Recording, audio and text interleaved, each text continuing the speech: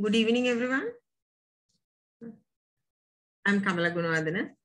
Uh, I think you all we all know each other now. A lot of people in the participants, I I think we all know, but as a formality, I'm I'm highway consultant and a fellow representative of the IESL Council this session. Uh, today's proceedings uh, also uh, lecture is done by our Professor Jayasinghe, Senior Professor of Civil Engineering Sectional Committee, Civil Engineering uh, Department of the University of Moratuwa. So we don't have to go for big introduction because he has been doing about nine, 20 lectures for this session. So uh, actually today's title is a very valuable one, Value Engineering for Highway, Bridges and Flyovers. Actually, he is, I think, uh, according to his uh, abstract, he's going to elaborate mainly the use of high strength concrete needs a great knowledge on concrete technology and site practices. And since so many different aspects are needed, uh, needs a great knowledge on concrete technology with these high quality cost effective structures and that will also he will discuss today. So out of main items, the technology greatest strengths up to like 80 megapascals with site mix concrete will be illustrated since such optimization is highly pertinent to today's context. Recording in progress. High fuel prices and supply chain associated with steep price escalations. So with this remark, I wish to say that we are much fortunate that to share more fruitful lectures, programs from Professor Jayasinghe, his expertise areas during this session and on, on, the, on his tenure as the chairman of the Civil Engineering Sectional Committee of the IESL. Without further ado, I invite Professor Jayasinghe to take over. Over to you, Professor. Actually, yeah, uh, can the, can the host allow me yes. to share the screen? Can the host allow me to share the screen, please? Yeah. And uh, I, I request all the participants to mute your mics throughout the session unless you have to ask the questions. Thank you. Enjoy this photo lecture. Can the, can the host allow me to share the screen? Why you can't? Mm, it does not allow me to open the video.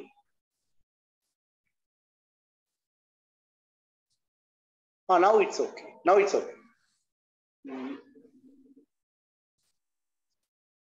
Right. So first, uh, I'll give a brief introduction. And uh, so first, uh, I'll do a small comparative study. Uh, you know, I'll give a, two examples and then show you why we need value engineering.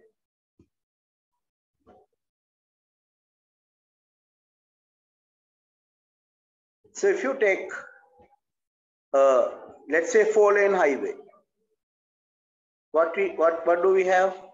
First we have 1.5 meter uh, walkway. Then we need uh, through two lanes of 3.5 meter. Then we need another center median 1.2 meter.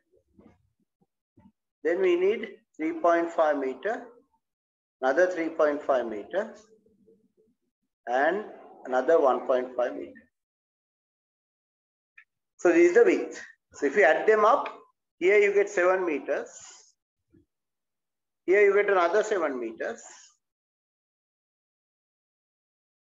So 7, 14, 17,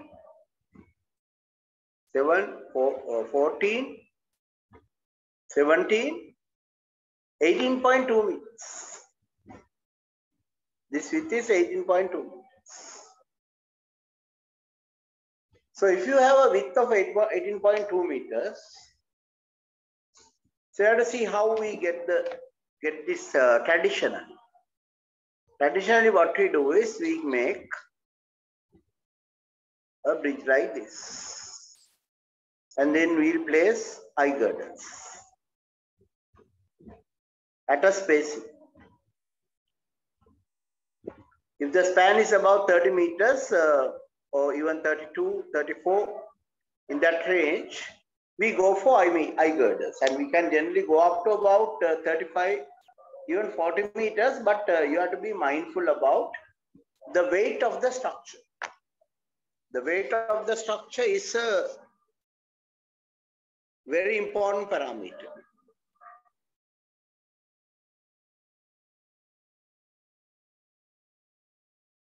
Right? Uh, uh, Engineer Kamala, I hope you can hear me properly. Yeah, yeah. Right, okay. No, I'm just checking. Right, okay. So basically what we do is, generally we keep about 1.5 meters here, another 1.5 meters there.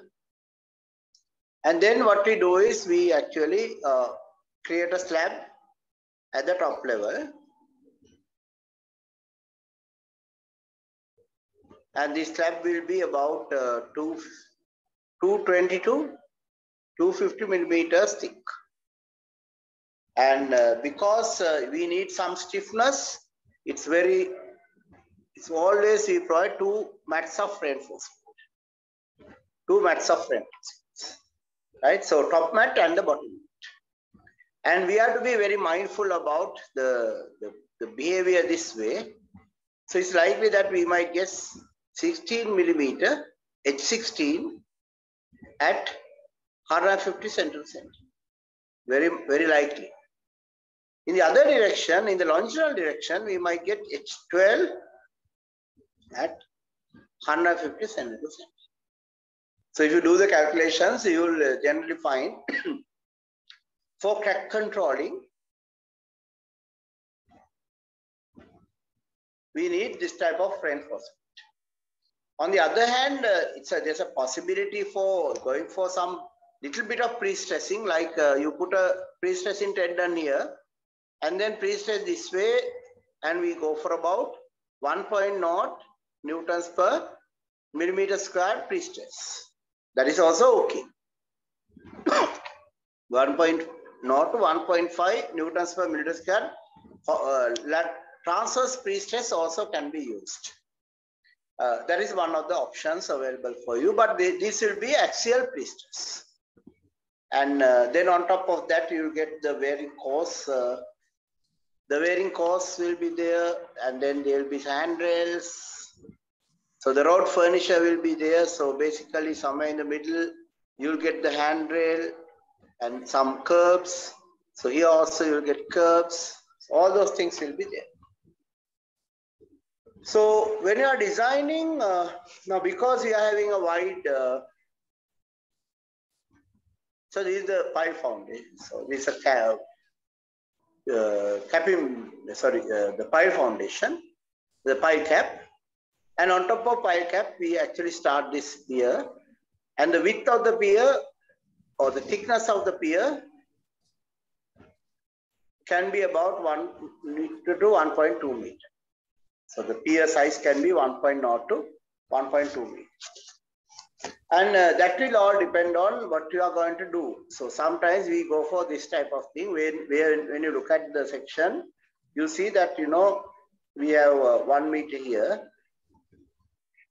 And here we have gone for about two meters. The idea is, you know, you need space for keeping the beams and, uh, you know, making some kind of connection here. So you need space and you need a space for keeping the bearings as well. So there will be bearings. So there are so many different factors. And uh, in the early days, uh, people were very worried about many things. One is thermal cracking.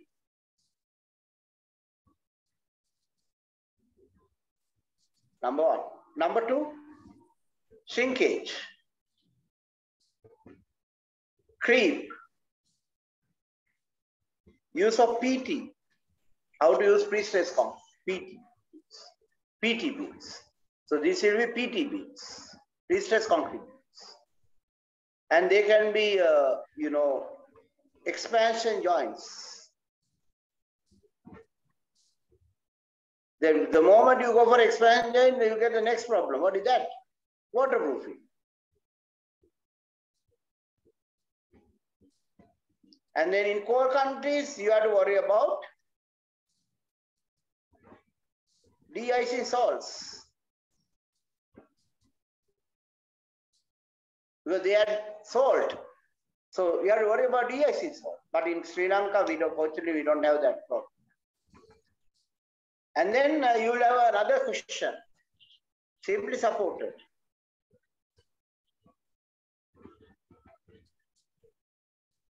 Or continuous.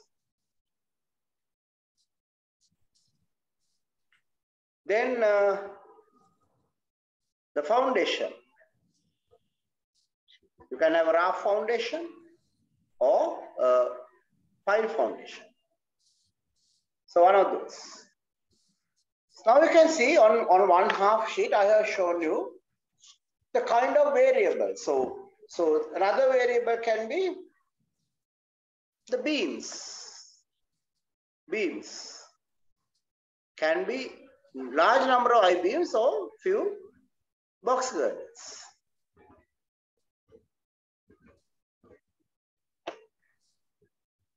So many variables. So here, when you look at all these variables, you can see, when you look at all these variables, you can clearly see we can have so many different solutions. And that's where the value engineering comes in. So when you have so many variables, what happens? The a brilliant bridge engineer what will he do? He'll optimize. Average engineer will have so many questions. What are they? 30 megapascal for substructure. Then he might say, I will use 30 megapascals for deck and and uh, beams both form the superstructure and we might say 40 megapascal for PT beams. And this is also 30 megapascal. Then you'll have foundations. You might say, I'll use 25 megapascal for pile foundation. And when it comes to pile foundation, we have another question. What are we going to do with piles? There can be many options. One is precast.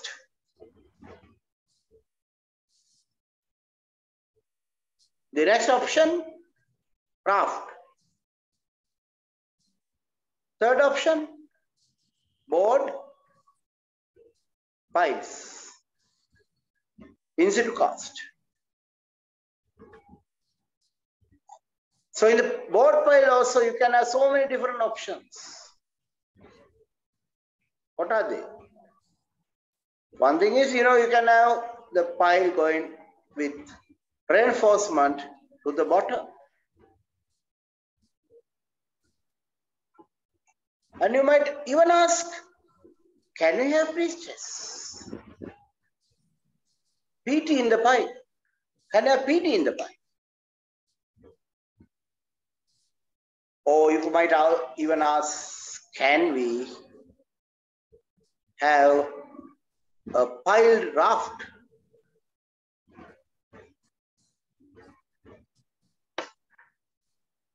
Now we can see when you start with the bridge, we have the lowest foundation. Then we have the substructure.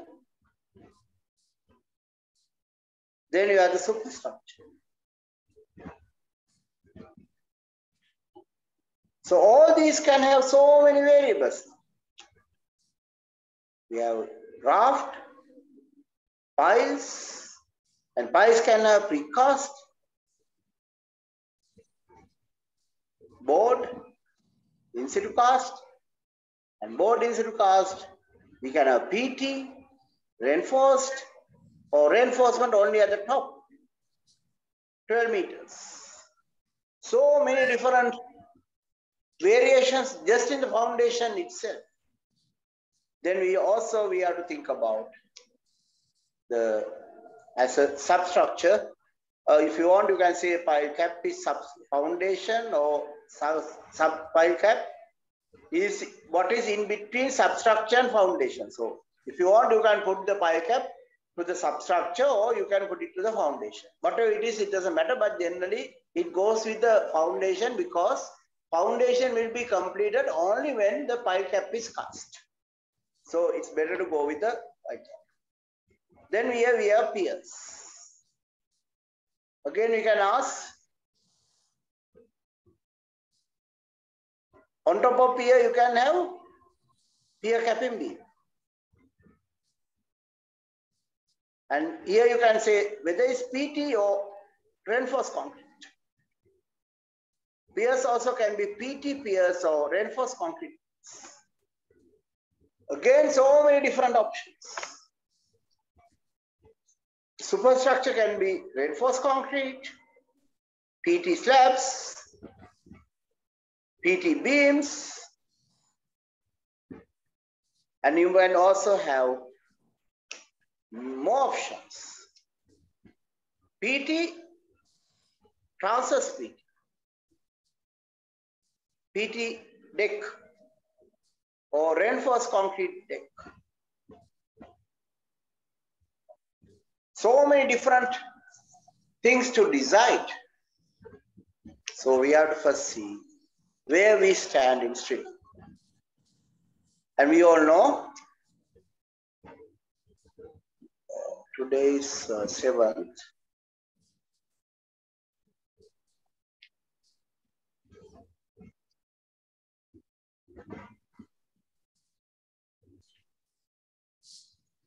Right. So we can have so many different solutions. So what are those solutions? Before finding the solution, we are identify the problem. What is the problem? Problem is very straightforward. Concrete. We have cement. Bag is about 3000 rupees. So that is one problem. Because it used to be around 1000 rupees three months ago. So if you have accepted a contract three months ago, now you are finished. Because cost, cost of concrete has gone up. Cost of cement alone has increased by 300%. A huge problem. Then we have 20 millimeter aggregates. What is the cost?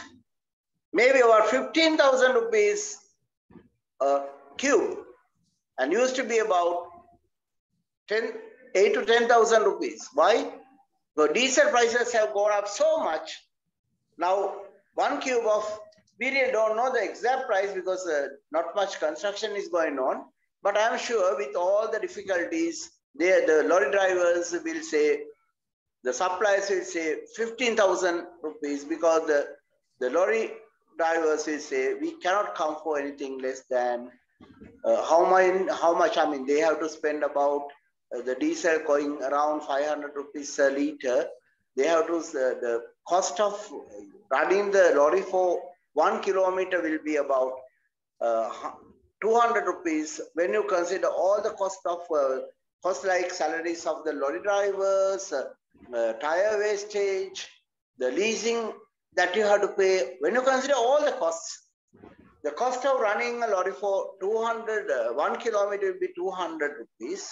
So if it is uh, 20 kilometers, uh, you, you buy it from Aturgiri or all those areas where you get, uh, you know, quarries. So uh, when you buy a, buy from a quarry and it is about 20 kilometers to come to your site. And so there alone it's 4,000 rupees. But, uh, but if it is a bigger lorry, uh, it can be even uh, around 300 rupees it's a huge three cube lorry. The cost can be around 300 kilometers because they are very having very powerful engines. So they might do only about three kilometers per liter, especially in the traffic conditions. So, so they might be charging something like 250 rupees per kilometer. So uh, when you have 20 kilometers, they are on 5,000 rupees, but they have to charge for going back as well. So, so when you consider all those charges, so going back also you have to charge. So the transport cost will double. Then you will find that, you know, cube is that. Then it comes to sand. Now bringing sand from Mayangan is no longer possible. Why? Because uh, it's far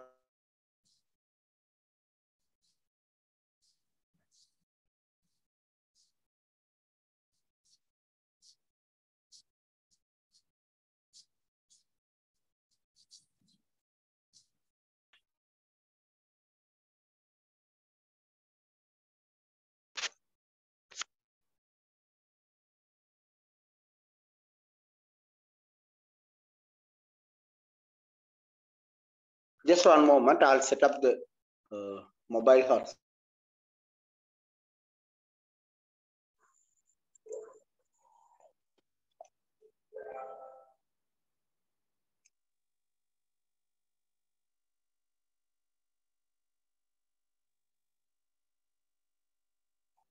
Right, okay.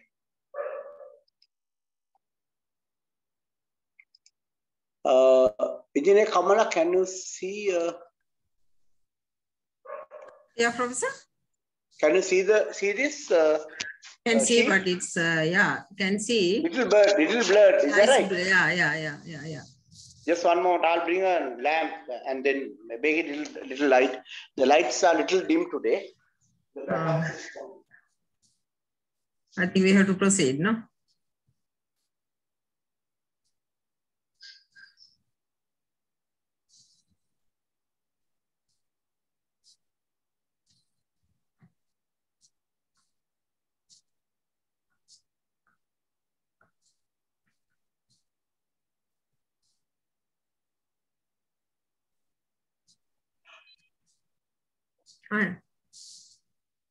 Now it's better, Professor.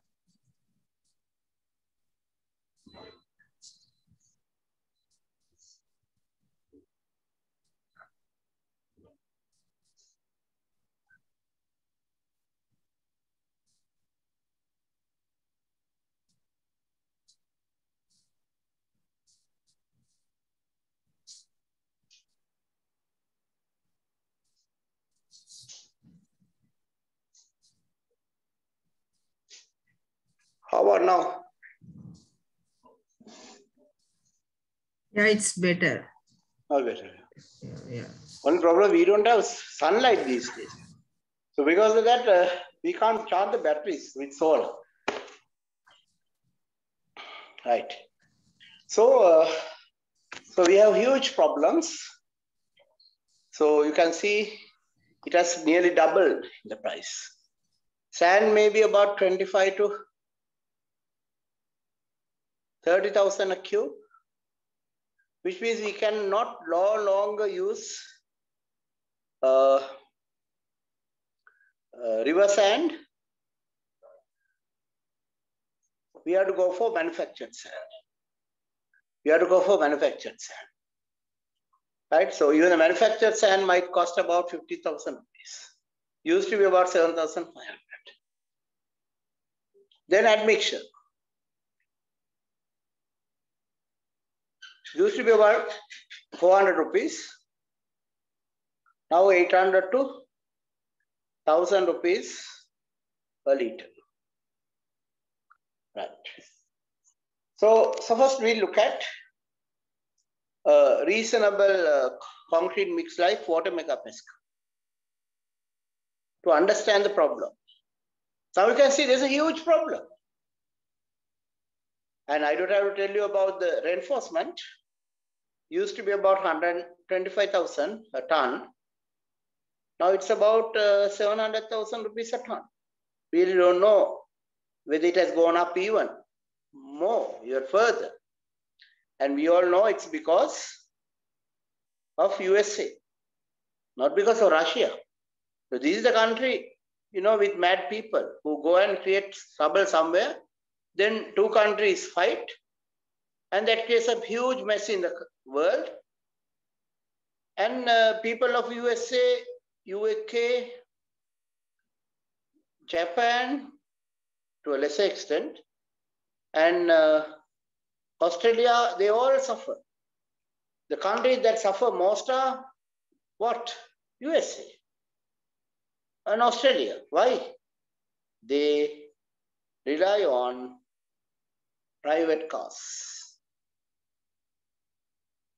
And Japan, UK, they rely more on bicycles. And Japanese people they rely a lot on trains and walking. All these countries, walking is not a problem. So they walk a lot. They do cycles, they use trains. But the most affected countries are Australia and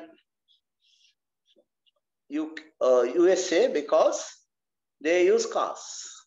And there's a, another country that is very much affected, and that is Sri Lanka. Because we use more oil than more, some of these countries. Because even to walk half a kilometer, what do we use? We use a three-wheeler or a car. And we never, we never think of using a bicycle. So Sri Lanka is another country that is suffering a lot. Not because we don't have dollars, but we don't know how to use the dollars well. So Sri Lanka is in one country that we have got everything messed up because we have not adopted the correct policies. So if you look at the correct policies for a country, correct policies we need expressways. In this context, we are okay. We need highways. That means A and B class roads. Here also we are okay. We need veterans. What are veterans? They are the small roads that will interconnect all these other roads. So any road that connects, uh, any small road of uh, 3 meter width, 3 meter or wider is a ratra.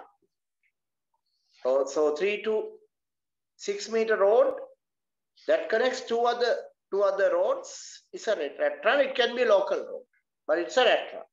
Why? Any local road can attract local traffic. Now these days, you know, because of Google, they attract uh, long distance traffic as well. But generally, in Sri Lankan context, long distance drivers don't like these Google based traffic uh, uh, guidelines because sometimes, you know, they take you in a roads that are very narrow, that are not, just to save time, they take you in the wrong roads. So because of that, many drivers don't like, uh, long distance drivers don't like the Google guidance. So basically, uh, we are okay. Then you have to see what is not okay, not satisfactory. Because if you understand the problem, only we can find the solutions. Because most of the time we try to find the solutions without understanding the problem, and then you find the solution is not up to the mark. So so we, I'm trying to tell you about the problem first. Then, then we'll understand how to solve it. So I have told you half the story. That is, you know, we are having a huge problem with concrete, huge problem with steel reinforcement, huge problem with uh, shuttering. The shuttering private costs are very high. So, so unless you go for steel shuttering, then uh, you know you are, not, you are even steel shuttering is also very expensive because steel is very expensive. So we are having a big problem. Right. But not satisfactory. We have one million three wheelers. We have four million scooters, motorcycles. we have 1 million cars and we also have 1 million diesel vehicles. Now out of this lot, and I think now we are getting uh, many bicycles as well. We really don't know the number. We really don't know the number. But I'm sure that, you know, we are getting many bicycles because uh, we have about uh, uh, 6 million houses. And I'm sure, you know, now we'll be getting many cycles, at least one bicycle in every house. But if you look at uh, a country like uh, Holland, which is uh, very much into the cycles, bicycles. So the number of bicycles is about two times the population. So I cannot remember the exact population, but you know, it's, it's more than the population. So the number of bikes available in that country is more than the population. And our number may be, I'm sure it's less than the population. Then if you want to see uh, how Cuba faced this uh, problem in 1990 when uh, Russia, under the leadership of uh, President Gorbachev, uh, you know, allowed Russia to break up. Uh, maybe another America initiated American initiative, we don't know. Whatever it is, you know, all the countries that were under the Russian control were allowed to be free, including uh, East Germany. So in the world map, this is America and Cuba is here, Russia is here, India is here, and uh, Africa is here, and then you get the Europe here. So Russians could not control. So what happened was, uh, Russians used to send a lot of oil to this country, Cuba. And Cuba was at the, at the very uh, doorstep of America.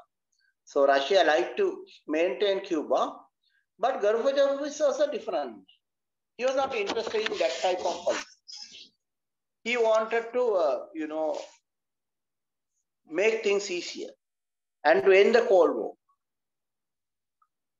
So Russia made smaller, was became smaller, and they could not get oil from Cuba. So Fidel Castro, Fidel Castro was a wise man. He imported, Cuba has a small population. He, he imported 3 million bicycles from China.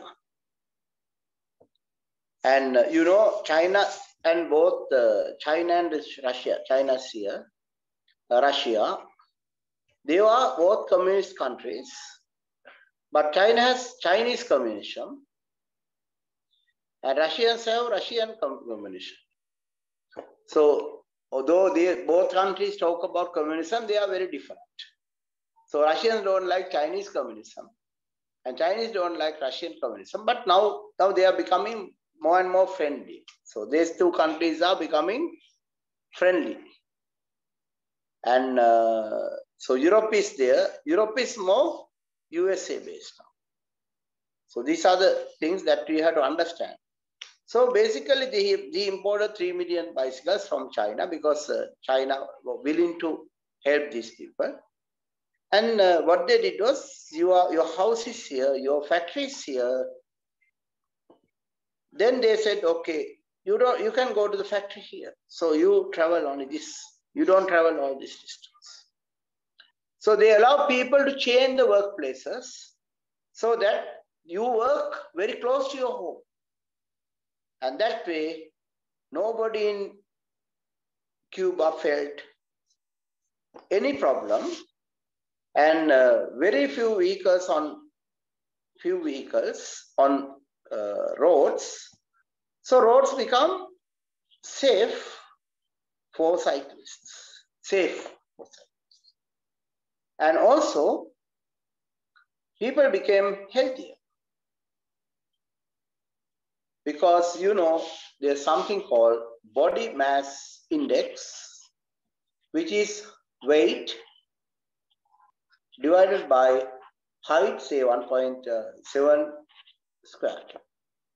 So you calculate it, and this must be between 18 to 20, 25. You are okay. If it is more than 25, you are not okay. If I ask many in the audience, what is your body mass index? And I, if I ask you to calculate it, I'm sure for Sri Lankans who eat a lot of rice, generally the body mass index is between 25 to 30, which is a slightly risky range.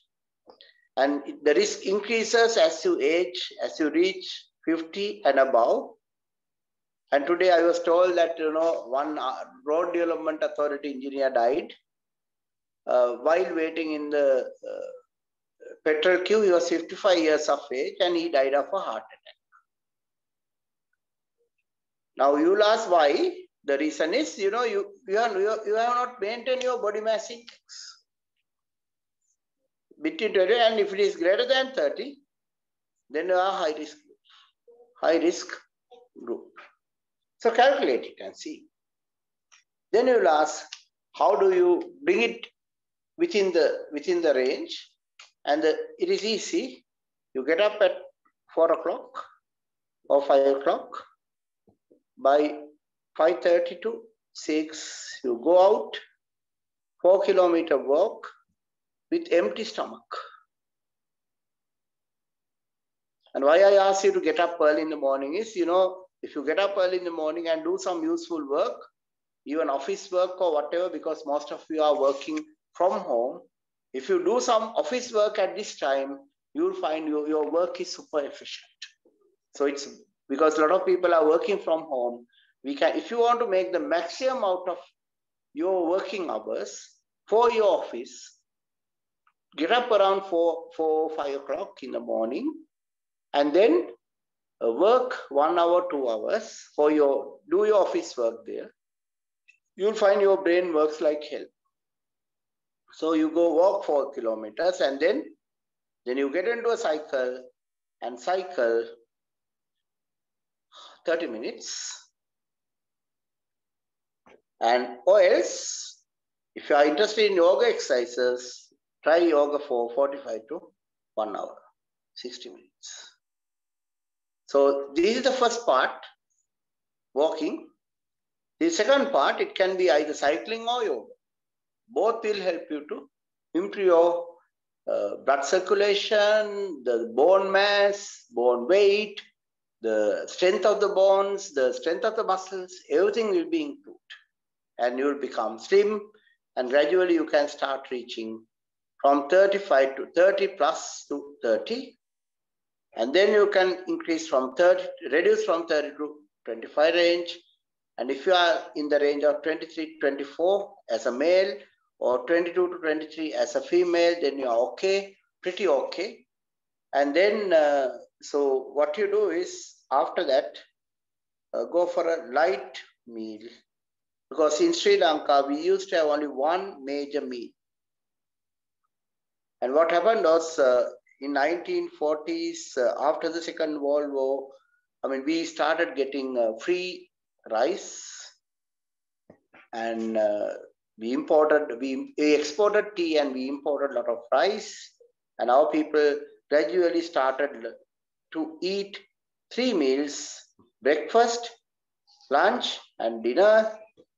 And the maximum calorie intake should be 2000, whereas our people used to eat 2500 to 3000 as the calorie intake. And because of that, we developed people who look like with a fat belly. And you can see, you can look at Chinese, you can look at Japanese, you can look at many people from UK, but Americans are very different. They, they, because they, they eat too much, they have a problem. But many people from UK, Japan, uh, Australians also eat too much. But many people who are doing pretty, or Germans, Germans, many Germans are doing well, but some others are not doing well. So basically, if you consume anything more than 2000 calories, you ask for trouble. And you can see our uh, rice intake in Sri Lanka is 107 kilograms average per person. And we should actually bring it down to about 60 to 80. The moment, the day that we do that, we will not have any, uh, most of the health problems can be very easily solved the moment you bring down the body mass index. Now you will ask why it is relevant. Because it's very relevant because for you to do value engineering, what do you need? You need a super powerful brain. Super brain. Because there are so many parameters to look for. Unless you have a super brain, you cannot figure out how each parameter is related to another. So because of that, you need a super brain. You get a super brain. All the Sri Lankans are having a wonderful brain. They are very intelligent. But your brain power can be used only if your stomach is empty. It's empty. If your stomach is empty or just filled with little food, then your brain can become super, super brain because we have so many parameters to look for. So what is the what is the easy way out taken by our engineers? They simply copy from earlier designs. Earlier designs, and this is this happens all the time. And if you have one mistake, then it will be repeated in all the subsequent designs. And one good example is STDP project. That was uh, planned in 1990, 90s, late 1990s, under the President Chandrika Bandaranaike Kumaratunga government. Then it was the project, the ADB approved the project in uh, 2003. And then the Prime Minister was Ranil Wickremesinghe. And then CCB was involved in the designs. I'm trying to show you how we can get things wrong unless you are very vigilant. So the CCB is mainly uh, a uh, building engineering. So they are good in buildings. So they did not have enough expertise in bridges. But the engineers thought, okay, I'm a good building engineer. I can be a bridge engineer. It's very wrong. Why?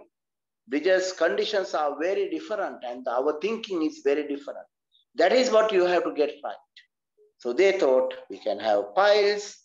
And then there was another guy called Engineer Chan, an Malaysian born Indian. And he, he also did not have much experience, but he pretended he knows the subject. Now, this is our biggest problem. If you don't know, say don't know. Never say I know when you don't know. So they put battered piles. Battered piles. And use of battered piles is very wrong. Why? Not for static. Static forces, battered piles are okay. But dynamic, when if you if you get earthquakes, dynamic forces, battered piles fail. The moment the battered pile that is used for stability fails, what will happen to the bridge? The foundation will start moving this way. And the, because the foundation is moving, what will happen? Now the foundation is moving, bridge can collapse. So the bridges with battered piles collapse in an earthquake. And we have built an expressway lasting 120 years at least.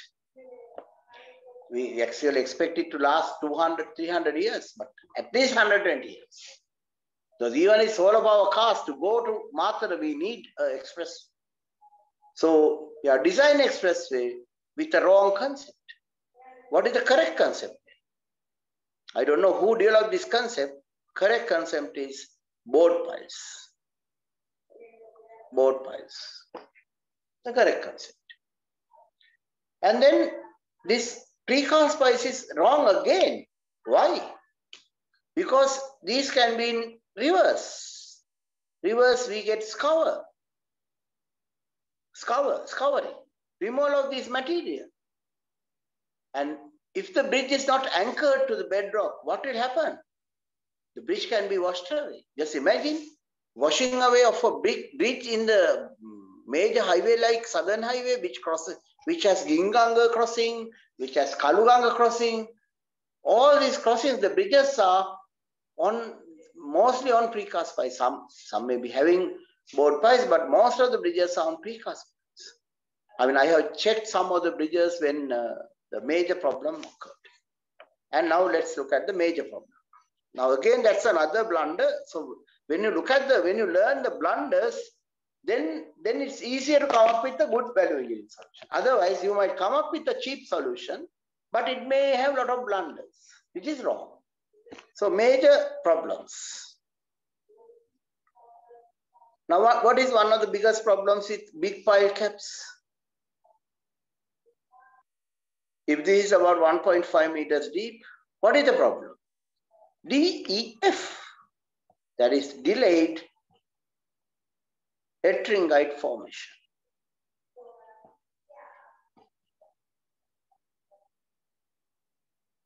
Delayed ettringite formation. What will happen? If you delayed ettringite formation means in the center part of this temperature goes above 70 degrees, then what did happen? The reaction of C3A tricalcium, tricalcium aluminate plus H2O will form a chemical substance which is stable. But if the temperature has to be less than 70 degrees for this to be. And this is the one that gives strength from one hour to 24 hours. And it is responsible for about 10% of strength because you get only about 8% uh, 8% uh, C3A. So this can give about 10% of the strength of concrete. And once form is stable, if the temperature is less than 70. So here what happens is, if you don't control the temperature, in the core area, temperature can rise above 70 degrees. So what happens? Then the reaction goes in the other direction. Now the reaction that went this way initially, now will reverse. So now the material is this one. And if you do not provide a lot of reinforcement in the pile cap, what will happen is pile will develop minor cracks. And through these minor cracks, water will come here. And as the water comes, what will happen? Now this reaction will again start. But this reaction in the first 24 hours is very much okay because concrete is weak and it's sinking due to the evaporation of water. And C3A plus H2O has a higher volume than C3A. So what happens is, in weak concrete, it's shrinking and this is this will expand. So shrinkage plus expansion, not bad. And concrete can accommodate it because, because concrete is still weak. There's no strength. So all these movements can be very well accommodated by concrete. So concrete you will find, though it shrinks, you cannot see the shrinkage very much. So you look like, it looks like the concrete is there intact. But what actually what happens is it has shrink, shrinkage has occurred, so has the expansion. So what will happen? Now this guy is expanding and is exerting pressure in every direction. And unless you have a lot of reinforcement, unless you have a lot of reinforcement, what will happen? These cracks, these, expansion the force of expansion is sufficient to crack it like hell. And it will crack, crack, crack, crack, crack, crack, crack. Unbelievable cracking. So most of the bridges, uh, so if I tell you about the Southern uh, Highway, uh, so this is what happened in the highway. So because it's so important for us to know the history. And when you know the history, you will not make mistakes. When you don't know the history, you make mistakes and then somebody will say, oh, you are a fool. Because this you should know this. As, a, as, an, as an experienced engineer, you should know what happened in the past. So what happened is, uh, this is uh, Sri Lanka and uh, this Kottawa, this Galle, this Math, this is Mattal. So we have no, no intention of doing it for Mattal initially. But we, we planned this one about 10 kilometers inwards, inland. Then you will ask why? Because those days philosophy was no house damage. So select paddy fields.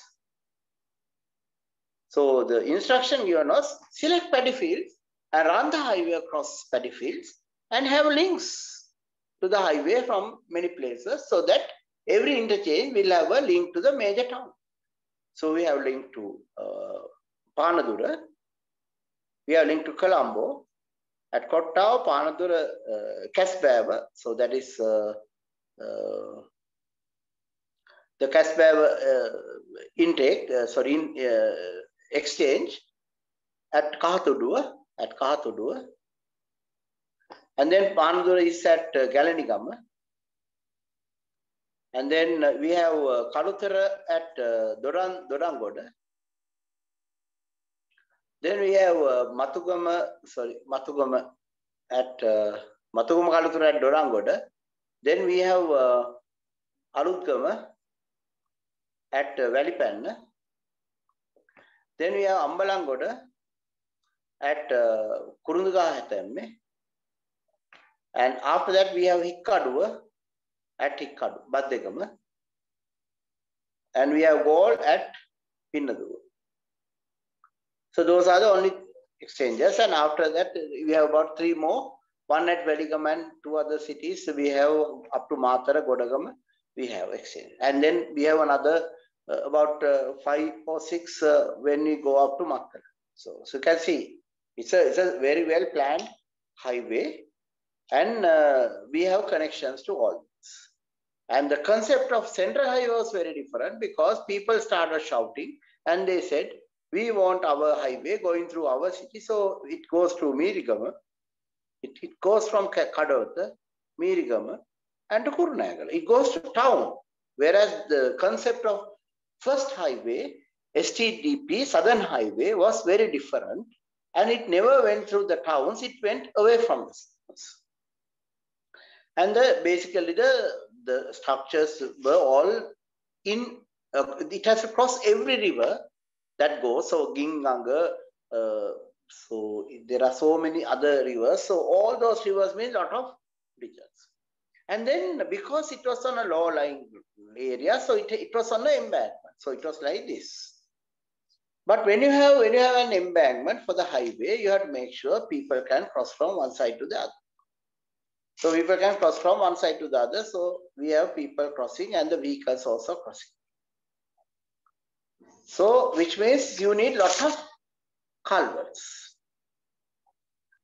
So, they, the initial team decided, okay, we are going to have a strain structure. That means uh, like a six to eight millimeter thick steel.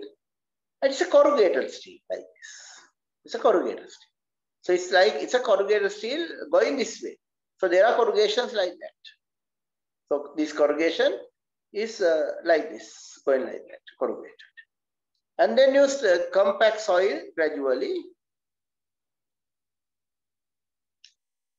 Compact soil gradually. And then the structure can be easily constructed. But these are not meant for expressways. So, so when the, so all our highways are undertaken by Ministry of Highways. Ministry of Highways. The expressways are constructed by highway, Ministry of Highways because uh, they, they are constructed by international contractors. So Ministry of Highways handle, but for management, they get engineers from RDA. So RDA from the ministry will ask for many engineers, senior engineers, and senior engineers from RDA will become the, the people who are actually managing the project because uh, the administrative officers of uh, uh, our ministry cannot manage the project. So, so they don't know how to manage a project of this scale. So, uh, so we have page number one, two, one, two, three, four, five, six, five, six, five, six, uh, seven, eight. This page number nine. Page number nine, seven, seven, two thousand twenty-five. So, so basically, uh, this was sent to RDA designers for opinion. And then uh, there was one tough engineer called Engineer Nimal Chansiri. He didn't know anything about this type of structures because they actually came from the design engineers, but he's a guy who, who never gives up. He, he, he's, a, he's one of the brilliant engineers we ever had. And he went through the literature collected literature and he found that these are not meant for expressways. These are, these are actually meant for uh, some uh, not so important roads. So he protested. And after that, these uh, were never sent to him. So he was out. So he was, he was not sent. So his comments are not taken. So this was in 1999. 1998 or 1997. So that is a long time. Then in uh, 2003, they started constructing this one. And because of inexperience of uh, CCB engineers, they never bothered of DEF. So that is one mistake. So you have to be very careful. Because when you go for value engineering solutions, you also can do these blunders. When you do, when if you don't know, what can go wrong? Because in value engineering, we are actually trying to do things differently. So if you are trying to do things differently, then you must know how things can go wrong. Otherwise, you will do blunders. And then no value engineering, because now to correct the blunders, you might need to spend more money than you ever saved. Right? So, so you have to be very careful. So they went for this. Uh, they found that. Uh, uh, so they they did not bother. So the so because these uh, piles now you know when you have pile cap, say this is the wall one meter wide. So all these loads that are coming through this will go through this way, this way, and this will be going to tension. This will go into tension. So what we do is we we calculate this tension and then provide reinforcement like this. And then uh, we also look for the minimum reinforcement based on the full height, minimum reinforcement, 0.13%. Minimum reinforcement is also required. Because we know things can go wrong in a pile cap, especially when it is thick. Because we might not control the DF very well, but uh, generally when you provide a lot of reinforcement, this problem will not occur. Now, due to the inexperience of the CC, CCB engineers who got all these battered piles and all those things, wrong concepts, we had a lot of piles, precast piles. So when you have a lot of precast piles, when the load is coming from above, then you'll find, you know, the load can go in every direction. And the effect of uh, load transfer is not very pronounced because we have so many piles, so the reinforcement can be reduced. So they use some unknown theory. Actually, I tried to understand, I could not understand. So it's an unknown theory. Unknown theory, and they, they actually reduce the reinforcement to such an extent, even the subsequent reports, all the consultant said, consultant said, pile caps are very likely, are very likely, all these reports are available in RDA. Uh, so caps are very lightly red. I also had all these reports because, uh, so I'll tell the story now.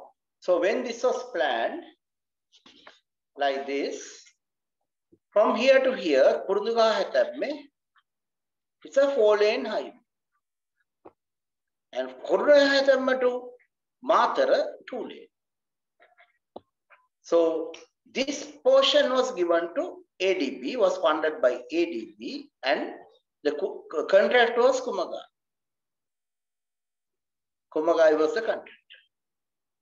Kumagai Gumi. And uh, the was Roughton. And uh, another Wilbur Smith or something, some company was there, but uh, uh, you know they, they they they were they were later blacklisted because uh, later ADB found that they, that particular company has taken a bribe from or given a bribe or taken a bribe or something from in another com, another contract in another country. So the moment ADB found that you know some uh, corruption was involved, they blacklisted that company and later only Roughton was there. Only Roughton was there. Uh, that is called Wilbur Smith or something. I can't remember the exact name. So they were blacklisted, and if you go to internet, you can actually find uh, who was there and who was blacklisted and what is the reason. So if you type uh, uh, mm, uh, the black blacklisting of Wilbur Smith, you can get all the details on the uh, internet, right? So what happened was, uh, so that is, and then this section was funded by JICA, and they got two, two, two, two companies. One is Taisei, and you know Taisei is very, very well known these days because uh, because one minister has asked for a bribe from Taisei. Taisei is a is a good Japanese company, and then uh, then the next part was China. China was from uh, Dodangoda to Kurundugahatam was by China Harbour. Kottawa to Dodangoda was from, that is Kalutara Exchange, was by Thais. And it was all funded by JICA. And you'll ask how I know all these details. One thing is all, most of these details are available on internet. But anyway, uh, some incident happened in October 2009. So actually, uh, this project started in 2003. It went well 2000 until about 2006. Then things started to get, uh, you know, then uh, they changed the project. So, so this was from Kottawa. Here you get uh, Kurundu Gahatamme, Kurundu. And then here you get uh, Galle, here you get Matara. So uh, Kumagai was the first company started and they did a two-lane project very well up to market. By around 2006, 2007, the project was almost there. Then uh, the, the suddenly the wisdom came. They thought, okay, why are we constructing a two-lane highway, two-lane highway with a shoulder, with a hard shoulder? So it was like a highway like this, is the hard shoulder, this is the highway, this is the highway, this is the hard shoulder. Why not make it little wider? Why not make it small area, lane, lane, center median, lane, lane, a small thing. So you need only to widen it by only six meters. So when you widen it by six meters, now you can make convert the two lane with hard shoulder to four lane. So you need to extend it only by six meter or eight meter. Then they found, oh, why, why, are we doing such a blunder? Because uh, having a two lane uh, highway is a blunder. You can easily convert it to four lane. So these people, Kumagai was said, okay, you don't have to worry about Galle Matara. You forget about that area. Now you make it four lane. So Kumagai started making it two lane, four lane. And by uh, 2008, the war was going on at full swing and you know, we were getting very bad reports about STDP project. With lot of corruption, theft, lot of bad reports were there. In from time to time, we used to hear a lot of bad reports about that, and we would we, we heard that you know it's it's not properly managed by the the the ministry team uh, who is actually the engineers from RB and so on. Lot of problems were there. And then uh, we use also heard that you know buses of private buses, private buses of uh, Matugam LPT area, they all run on uh, diesel, diesel, uh, you know, taken out from uh, various machinery and all that. So there's so many bad stories about that. And in 2009 October, when uh, when two boys were crossing, they were doing some repair, and the Japanese engineer was told, "Okay, remove the soil on both sides." And that high-handed engineer, that's why as I say, you know, when you are doing manual engineering, you have to be very careful. Without listening to all this, he removed this all this soil. He did not understand the arch theory. So, and in that night, it rained a lot. And the boys are, two boys are crossing. And, you know, this is a classic way of dying. So one boy walked past the other boy was having a phone. He got a phone call. He stopped to answer the phone. And this boy kept on going. And as soon as he reaches here, he is, this guy is here, this collapsed. Because soil has been made saturated by the rain. And soil weight becomes too much. Soil became weak. The C and phi parameters were changed due to the presence of uh, water. And soil loss strength. Too much weight came onto these very weak, thin shell type structures. And it all collapsed and the boy was killed. Unfortunately, he was killed. And then the villagers who were very angry with STDP started writing. Writing. So it was like another Aragalaya there. They were start writing. Then the government thought, okay, we are not going to go any further with this project.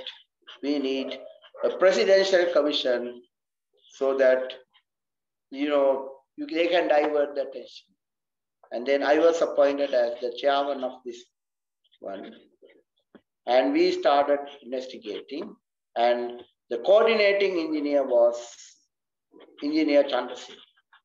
So coordinating engineer was Mr. Chandrasiri. And then what happened was, Mr. Chandrasiri gave me all the, the files that he had in 1997, 1998 on these structures and I started investigating, but I had no idea about these structures because I have never seen such structures because I never considered they are suitable for any expressway project, not even a highway I would. Because they were they were made for America, where the labor is so expensive, and uh, so steel structures are actually meant for American market where the labor is very expensive. So if the labor is very expensive, constructing a structure like this by filling up with soil is very cheap, very, very cost effective. So it was a structure meant for uh, America and then uh, there, there's some uh, H-beam and there were a lot of cracks in H-beams. So these I mean, the moment you look at these structures, you can see they are very poorly constructed structures. So, uh, so there were a lot of criticism about those structures. And uh, I found that there's a blunder. What is a blunder? There's a theory that says the minimum cover is 600 millimeters if rigid pavement. Pavement is rigid. If the pavement is flexible, you have this 600 plus the thickness of the flexible pavement, which is about 600, another 600 millimeters. Because in a flexible pavement, you get base courses, then ABC, then uh, premix, and then the wearing course. So altogether will be about 600 millimeters. And then you need to have another 600 millimeters of soil. Now, suddenly we found that, you know, the designs are wrong. Designs are wrong. So here for the, for the major STDP project, designs are wrong. What will happen? So if they are wrong, you have to correct it. So the correction is have a concrete line and make it a concrete arch. Forget about the this. And we try to get it done by the contractor, but contractor quoted very huge prices. So we found that it's not possible to get it done from the contractor. So at the Department of Civil Engineering, University of Moratuwa, we design all these shells that all the details are, all the reports are available. I think about 80 reports we did. And all for every structure, we did a report with a complete finite element analysis. Using, uh, we those days we use SAP because we were actually looking at the equilibrium condition, which is, although SAP is not strictly applicable to the behavior of soil, we were actually looking at the the concrete part, not the soil behavior, but we were looking just looking at the forces and what the forces that will act on concrete. So, so the use of uh, the SAP 2000 for that type of analysis can be justified. So when you are, the other thing that you have to understand is the soil behavior has, must be represented by a soil soil software and don't use SAP 2000 if you are trying to model soil. If you are going to find the deformation of short-term deformation, short-term deformation of soil, yes, SAP 2000 can do But if you are if you are going to find the long-term, the real soil behavior, you must go to a geotechnical engineer. So my favorite is Dr. Nalin De Silva. The reason is I know he, he knows the theory. There are many others who pretend that they know the theory, but uh, when you go to them, you, you don't get a good good service because they don't know. And his number is not 755 So I trust him because he knows the theory. So basically, it's so important that you know you must know what the theory you need for analysis. If you don't know the theory and then use some software, you will get answer. So we say garbage in to the computer and what do you get? Garbage out. So you make a raw model, analyze, and then the wrong answers, you design, and then the factor of safety can become less than one. One day it collapses, kill people, kill people, as it happened in Miami uh, about one year ago, one about one year ago, I think, uh, in Miami, uh, one building collapsed, about 15 story building, and uh, that was because uh, the design engineers have under-designed the under-designed the transfer plate, transfer plate. Because when you under-design the trans, it's so easy to under-design a transfer plate because if you just consider it as a just a plate, then you can under-design it. But if you consider that it's a plate loaded with incremental loading, then you will find the bending moments can increase by about 30%, whereas shear forces can increase by about 10%. So if you don't know that theory, then you can easily make a big blunder. And my rule of thumb is when you increase the bending moment by 50%, increase the shear force by 25%. Why? This is such an important structure. If you provide little more reinforcement in a transfer plate, it's no problem because transfer plate,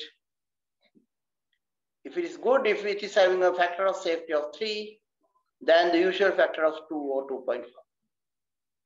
Because when you design a concrete structure, the normal factor of safety is 2 to 2.5. That means you can overload it by 20 to uh, around about 100% overloading can, can be taken up by the structure before it uh, reaches ultimate limit state. Whereas uh, I would like it to be about 200% uh, overloading for a transfer plate because transfer plate is a key member. So when you are doing structure designs, you must understand there are some members that are considered as key members, and a failure of a key member is a killer, can kill. It can kill people. So key members must be over designed. It's not a crime to over design a key member because it's a crime to design the key member because if you design a key member, there's a chance one day key member might fail, lead into a catastrophic failure of the structure. Whereas if you over design the key member, there's absolutely no chance of any catastrophe like that happening because key member lifespan will be much longer than the lifespan of the building. So the key member will hold the building, whereas many others may have many durability problems and repairs may be affected, but uh, the, the, the key member or the transfer plate might stay without any problem. So you have to actually get that right, okay? So uh, then uh, there was a query and then we found a lot of problems. So we, we suggested this still, uh, unfortunately, if, if there are engineers from RDA, they should look into this matter because un, because we gained about 5 billion rupees from this STDP project. Now I think it may be about 6 billion rupees income per year. And we need, if we do 1 billion rupee worth of repair every year, after about six to seven years, you'll find all these uh, uh, structures can be repaired because uh, just it's just pumping concrete with some reinforcement and forming a forming a uh, skin which can act as an arch for this box uh, for this gird. So basically, it's something that should be done because it's a design design fault. So when you have a design fault, you have to one edge other correct it. But unfortunately, in our southern highway, it has it is yet to be corrected from Kurunduga Hetemme to Mata. So though we are talking big about our highway, it is having design faults from uh, Kurunduga Hetemme to Matara, especially with these soil steel structures. So, uh, so after that, we opened the highway in November 2011. And uh, about around that time, we, the government of Sri Lanka decided, okay, it is wonderful to have a highway up to Galle, but to get the real benefit, it, can, should go up to Matara.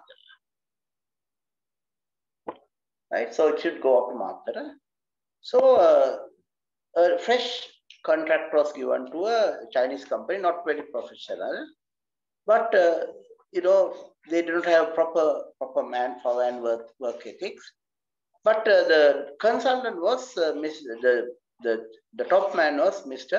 the engineer MBS Fernando, and he was the first uh, chairman of. Uh, I think he was a chairman. Yes, chairman of uh, of road development he was the first chairman of Road Development Authority. He actually came from Highways Department. Many engineers did not come to Road Development Authority from Highways yes, Department, but later they were forced to come. By that time they came, the first people who first went were very senior and they were the general managers and chairman of RD. So that's what happened. And this change happened in 1985. First January 1985, RDA was created.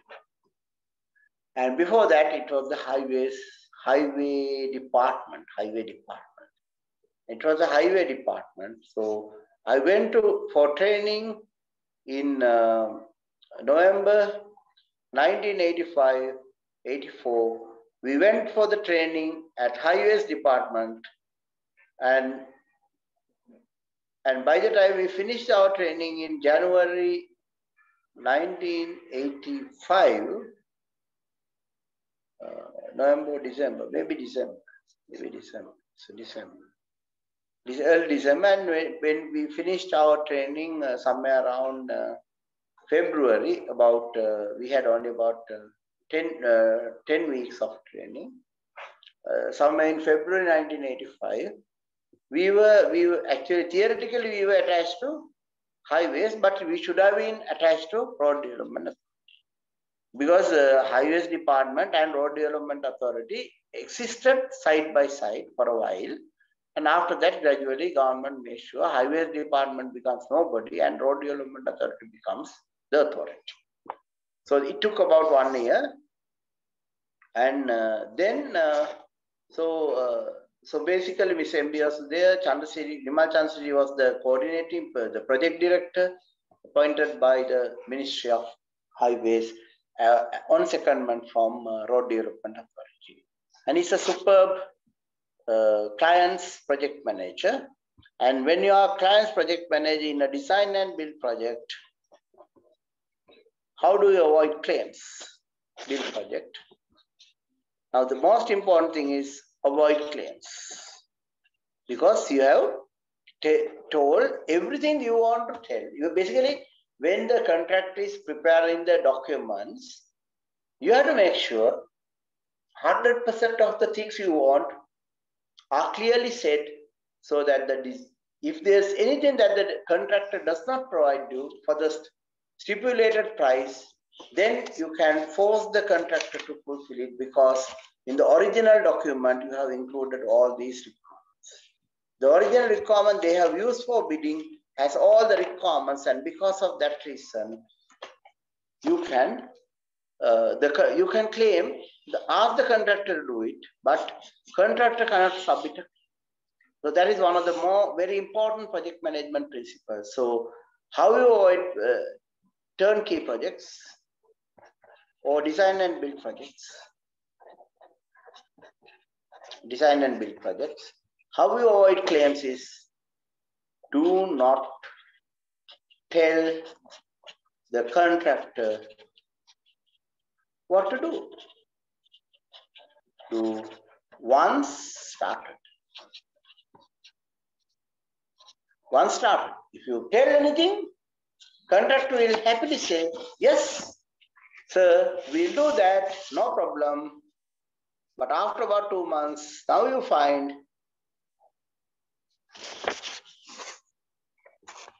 for something that you would have cost 10 million, contractor is claiming 50 million rupees. So now you are in a fix because contractors, you have asked the contractor to go ahead without knowing how much he is going to claim. And because of that reason, contractors properly done the job that you asked the contractor to do.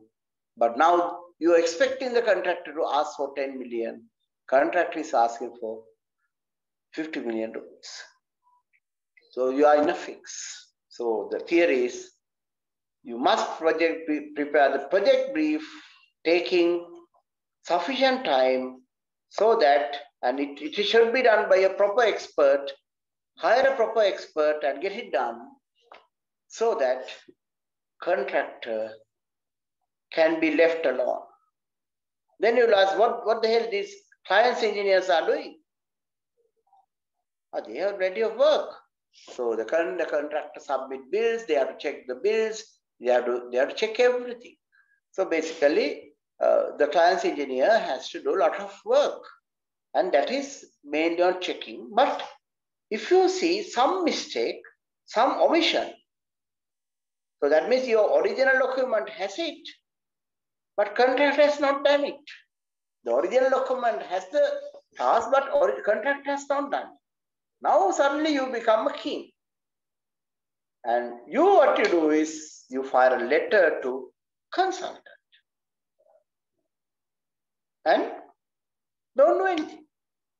If the if the consultant does not take proper action, you can raise it at monthly meeting monthly meeting, you will ask, ask why the contractor, uh, why the, uh, you know, we have show, shown a shortcoming that we thought as a shortcoming. We really don't know if is a shortcoming or whatever it is.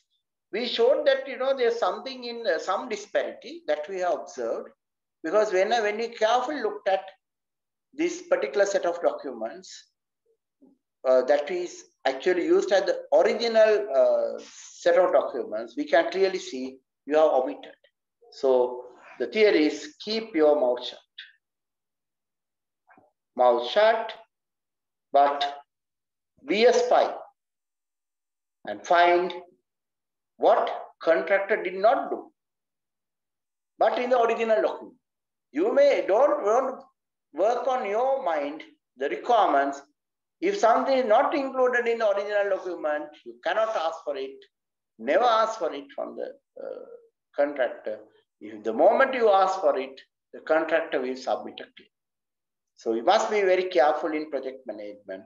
Project management is an art, and our engineer Chandrasiri did it so well.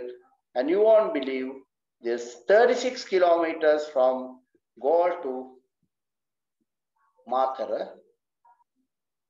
And you will ask, what is the distance on our normal road? Normal road is 28 miles, and you can convert 28 miles to kilometers. And uh, Galle Matara is 28 miles into 1.6. Matara is 100 kilometers, 100 miles. Galle is 72 miles, so it's 28 kilometers miles, so 44.8 kilometers. And you can see Southern Highway because it goes inside inside the country. It goes inside, and also it's a straight road, not a winding road. The, the normal highway has 44.8 kilometers, whereas the length of the super expressway is 36 kilometers. And you won't believe this 36 kilometers be widened for 4,000 million rupees. So this is the embankment. So may, we made it slightly wider.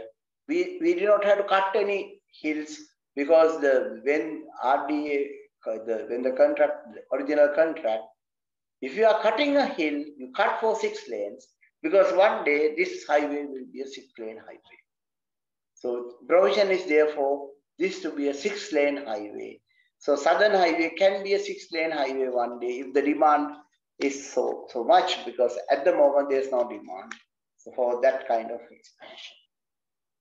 But had it been uh, the previous government that was there before 2014, end of 2014, they would have actually widened the Southern Highway to be a six lane road uh, as well. So, because they were so fond of doing things that we really don't know.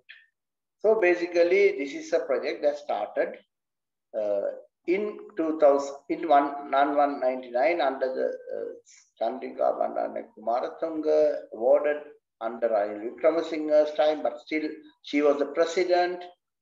And then, uh, then uh, they found that it is not happening when Mahinda Rajapaksa was the president.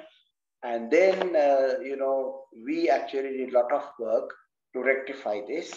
And then, uh, you know, so our Department of Civil Engineering, two more, prof one professor was, one another professor was asked, find whether it's really DEF, DEF, and the report came as inconclusive.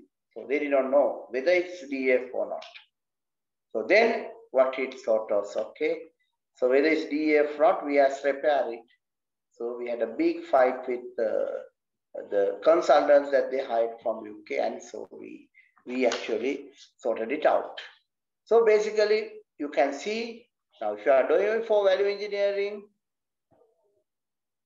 must be very careful about DEF, and you must be very careful about concrete strength, whether you use PT, and whether you have provided the minimum reinforcement. That's another hassle because concrete, we have to provide minimum reinforcement when you are doing a bridge. So, so in 2010, Mr. Nimal Chand, engineer Nimal Chandrasiri was made the project director. And during that time, the, there was a change in the ministry. So Admiral Wasantha Karannagoda became the uh, secretary of the ministry. And he did a very good service. He was very friendly with us and we, we all worked. So there's a team, MTRJ, uh, Wasantha Karannagoda, BVD and Chandrasiri. So that was the main team. You know, because we had to clear the blunders. And blunders are design blunders. Blunders and quality controlling blunders. That is uh, not taking enough precautions to prevent DEF. So there were so many blunders in this project. And and we, we when the, by the time we stepped in, all the blunders have already done by inexperienced engineers who did not know that they don't know. So it's very important when you are doing value engineering, you must know the subject well and also know what you don't know. Do not know. That is also very important. If you don't know anything, so for example, if I have to do a geo geotechnical design, I will not do it. I will ask Dr. Narendra Silva to use Midas GTX or Midas SoilWorks and ask them, him to uh, ask Dr. Narendra Silva to. He's a young guy. He passed out in uh, not very young, but he's very experienced. He, he has MSc, PhD, and working experience in UK, UK experience, working experience. So, and he's a real brain, and he's a master of the game. And I think he gets up very early in the morning and work. That's why he's such a good brain, because uh, when you get up early in the morning, it works. So you must know. That means you must read Eurocodes, and you must read it fully. Right. So that is the way that you do value engineering. So you must learn every bit of Eurocode. And but Eurocode is a very complicated document. So what I do is when I read, I convert it to a simple rule that I can remember. The, the real domain can be like this, but you'll find if you know this part of the knowledge, then you can uh, make correct decisions. So what I do is, by reading all these things, I eliminate all the unnecessary things and I select this part of the knowledge. And then what I do is I convert it to simple rules.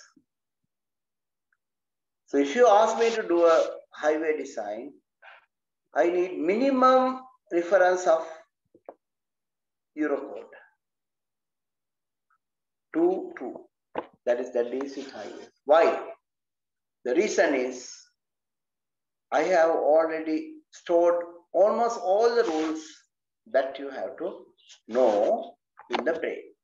So it's very important if you are going to be a value engineer, you have to work hard. You cannot be a value engineer based on experience because engineering is an art that must be learned by the engineer by improving the knowledge to the level that the engineer can almost do a design without looking at a code. So that's the level of knowledge you need to have. Now you know the problem. Problem, no materials, expensive materials. There's a need to minimize the use of materials. Why? If the material content is minimized, then the cost goes down. Why? Automatically you are using less material. So, so how do you use less material? How we use less material is we go for high strength concrete. Because the, the beauty of Eurocodes is they allow you to use uh, concrete cube strengths from 30 up to uh, 105. The cube strength can vary between preferably 30 to 105. So that is the condition that is whereas in uh, Euro, BS codes, generally, you know, we go for something like 30 to uh, 25 to 50. So our range is about 25 to 50 megabits. Whereas when you are using Euro codes, you can go from 30 to 105. Now let's see What are the advantages we can gain by going for high strength concrete? So to do that, we are going to look at an example again. So this is one possible solution.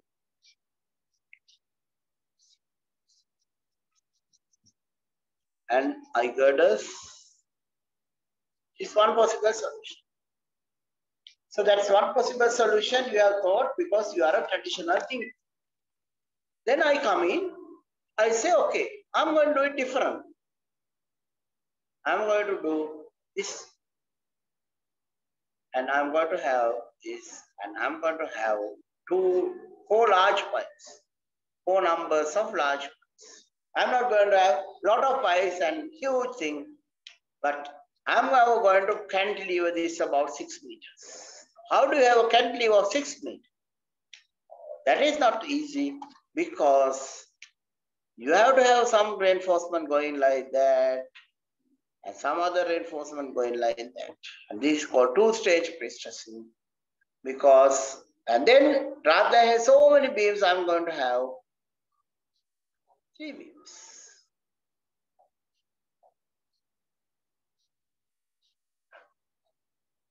And this is 18.2 meters. So I'll have three, three beams. And the bearing costs, and I'll bearings. Okay. Now which one will cost less, cost more? So this may have 18 meters means you, this may have about 10 I-beams. That means it's going to have about 10 webs. 10 webs. 10 I-beams, 10 webs. How many webs that I have here? I have only six webs. This might need about 10 piles because you have to support it every. I am using only four piles. And here you have huge quantity of reinforcement going in. I have a very narrow thing which is only about 4.5 meters. So I need less concrete. And and then I also need less concrete and I need uh, less uh, steel because you know concrete when you put concrete you have to put, put lot of steel. So basically now you can see how I'm thinking about it and so I might have about 30 to 40 percent but uh, my my intention is to go for 50 50 50% or even more, then I might do another design. What is that? I might go for a cellular raft. Cellular raft. So I remove a lot of soil because about three meters below, I have found that around pile meters below, the soil is good. It's laterite.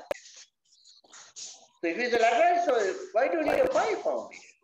where the pile goes up to 30 meters. You don't need it.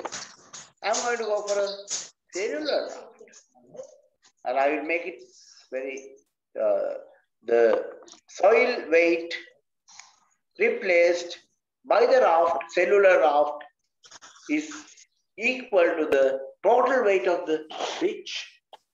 Then what will happen? Will the soil know that, you know, something has happened? No. Because earlier soil was support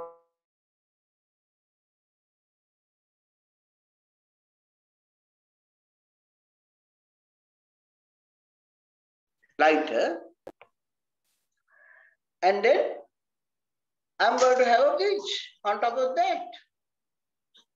And in that bridge also, rather than having a lot of pre-stress, a lot of reinforcement, I'm going to use 60 megapascal concrete and make, put some vertical vertical pre-stress.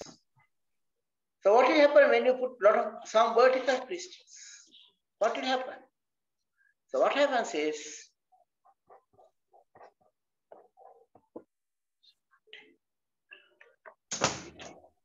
what happens is, when you have high strength concrete and put lot of little bit of pre-stress, what will happen? When this goes try to go this way, it, anyway it's carrying lot of compression. And if a bending moment comes, this will become active, this will not be active. That's huge strength. And because it's it is pre-stressed this way, is there any chance that it will crack like this? No, it will not crack like. So what you do is, you know, you'll provide very minimum amount of reinforcement. And also, sometimes you might consider that, you know, if you need a wide, you know, you go for a wide capping beam, wide, wide, wide one, where you can make even the center part hollow. What is the advantage? Because this is having 1200 width. So what will happen? You need less reinforcement. That's one. Because you have high strength concrete, so you might use 10 millimeter reinforcement just to control the cracks. Because you know concrete cracks, so you have to prevent cracking. So you provide little reinforcement. Is there any chance of DF here? You cannot have DF in here. So you don't get DF. Because you know it's a big pour, then you can get DF. Now you are not getting DF.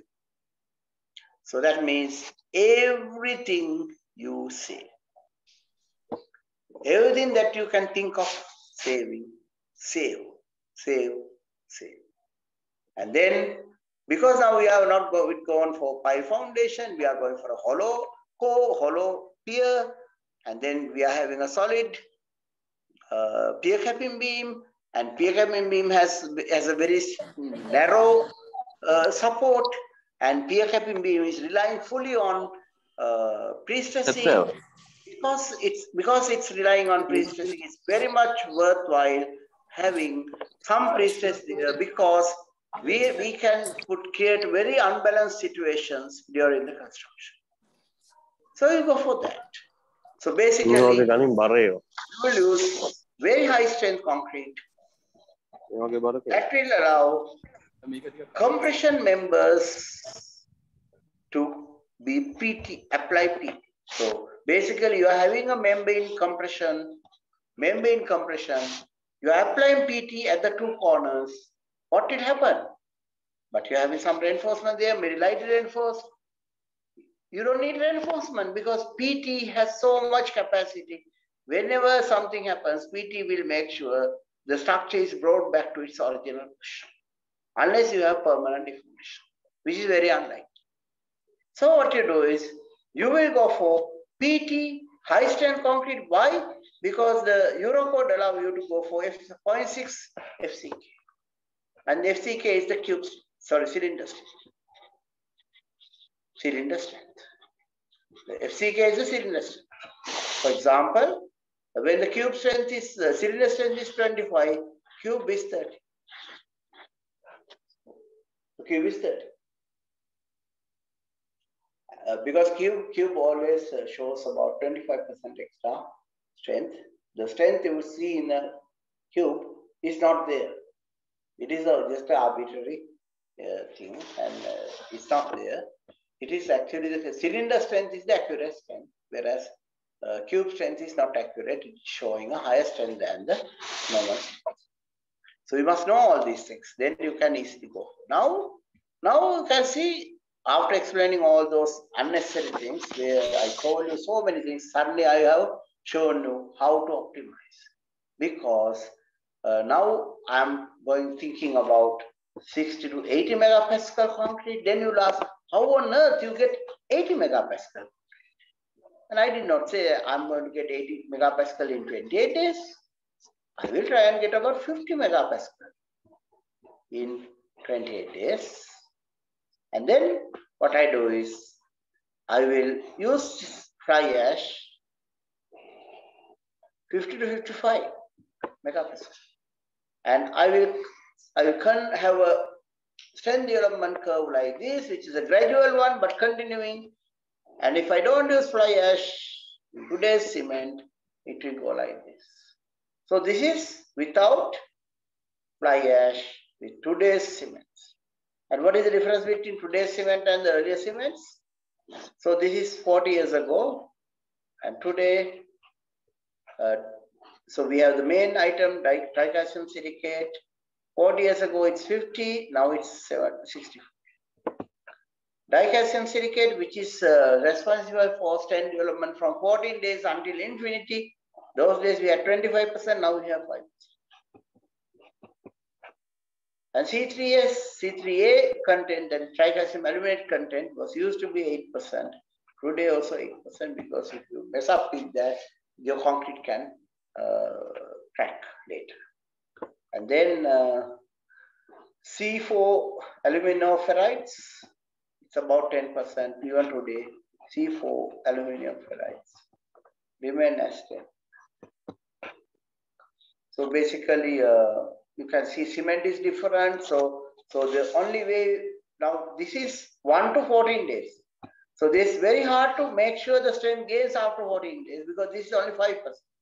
So what you do is when you get concrete cement, so if you want 300 kilograms of cement, you go for 260 kilograms of cement and 40 kilograms of fudge.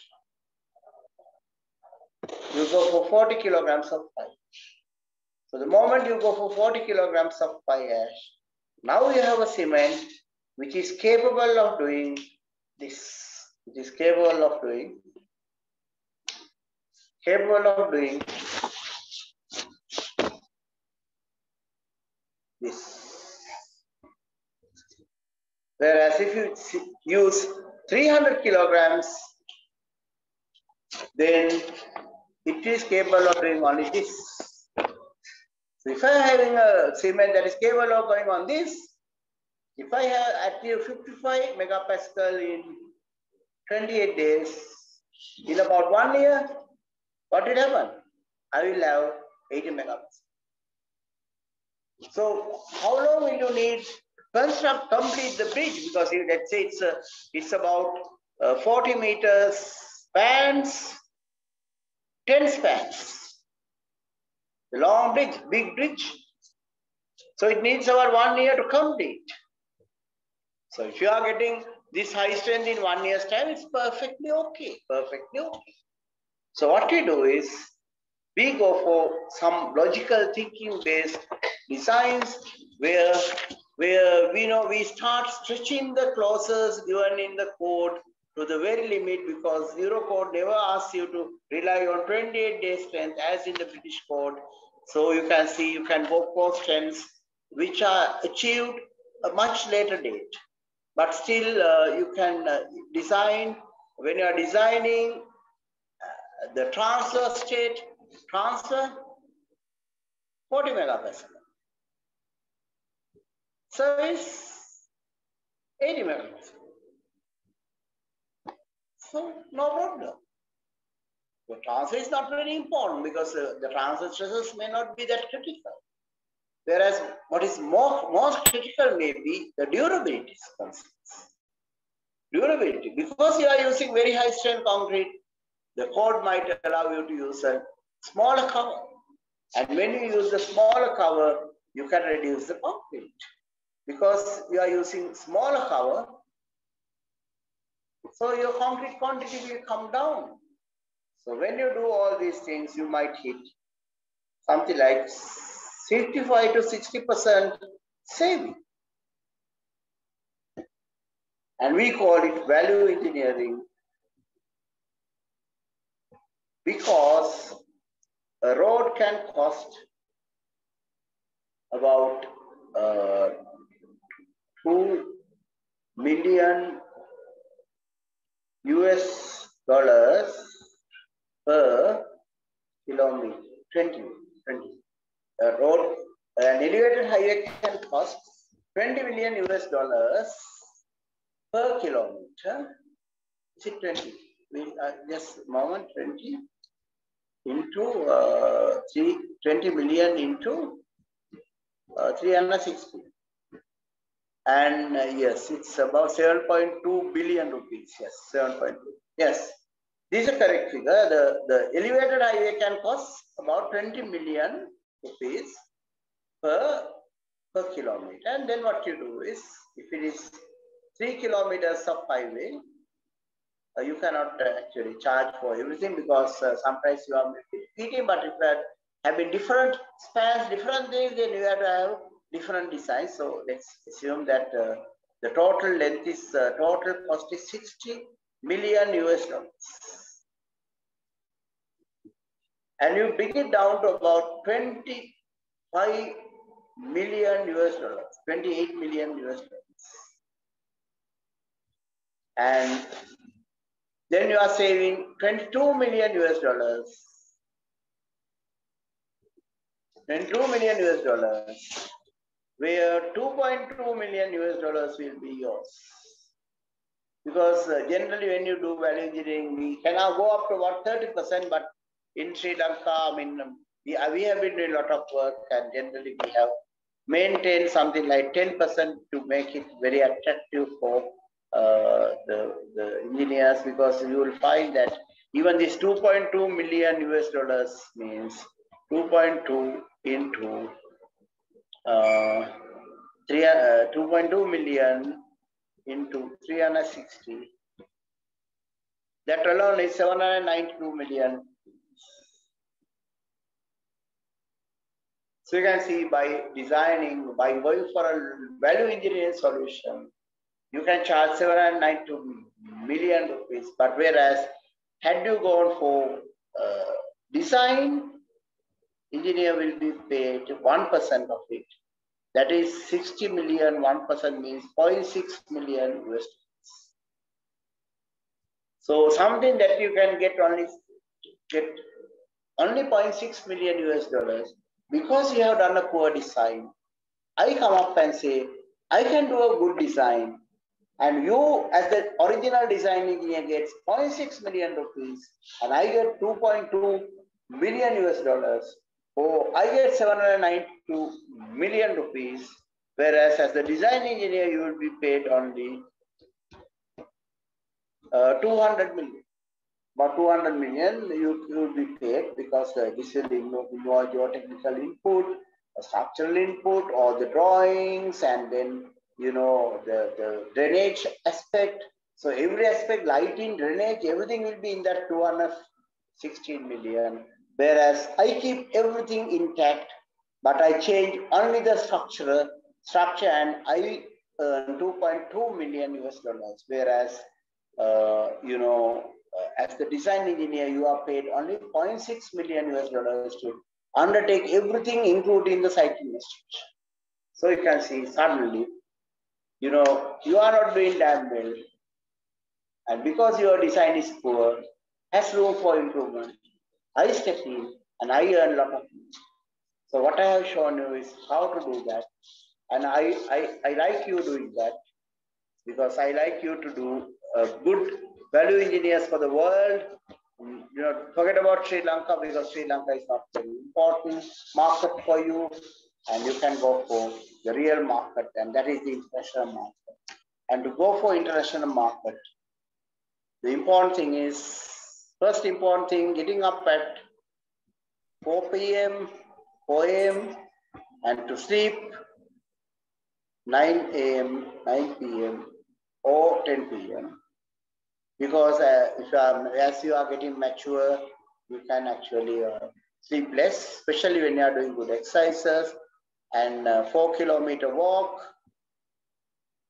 and uh, cycling 30 minutes or yoga and if you are interested in yoga, uh, you know, you can actually uh, try and learn it properly. And uh, it's very important that you learn it properly because uh, if you don't learn it properly, uh, you can make very big mistakes, and uh, and those mistakes can cause various injuries. So if you're doing it, do it properly. Otherwise, don't do it at all. So one of the good teachers is